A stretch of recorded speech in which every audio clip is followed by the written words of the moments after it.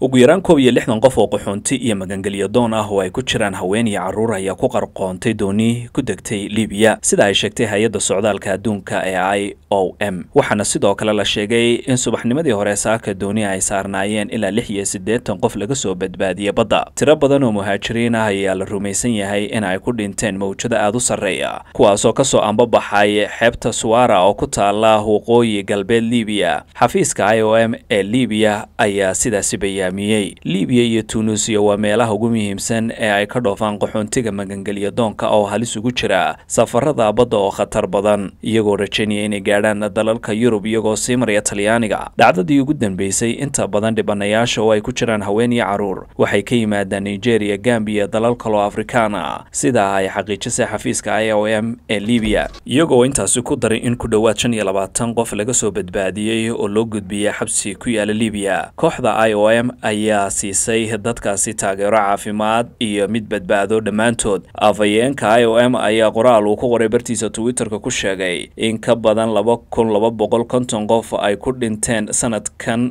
marinka muhaajiriinta ee bartamaha mediteraneanka baaqyada soo baxaya ah in la badbaadiyo dadka ku dhimanaya baddan afar iyo tobankii bishii juun ee sanadkan ayaa ahayd markii dooni kalluumaysiga oo ay saarnaayeen toddoba boqol iyo konton qof ay ka soo shiraacatay dalka libiya kuna sii jeeday dalka talyaaniga ay ku degtay biyaha caalamiga ee koonfur galbeed ee dalka griega sidoo kale dad laga soo xigtay markaba badbaaday ayaa u badnaa suuriyaan bakistaani iyo masaari. Keliya boqol iyo afar qof ayaa ka badbaaday laba iyo siddeetan meydahna waa laga soo saaray. In ka badan boqol iyo saddex iyo konton kun oo isugu jira qaxoonti iyo dad magangelyo doona ayaa sanadkan gaadhay dalka talyaaniga kuwaas oo ka yimid tunuusiya iyo libiya. Sida ay sheegtay hay'adda qaramada midoobay u qaabilsan qaxoontiga xamse xayd c b a t v.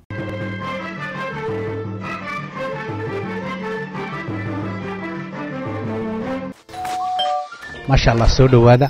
La jaanqaad shirkadda telesom. Maxmil waxay kuu diyaarisay adeegga internetka ay faibar optiga kaasoo xawaarihiisu kala go' lahayn. Waa guji waa ishaa biligteeda. Intuu soo gudlanayo hadalba gam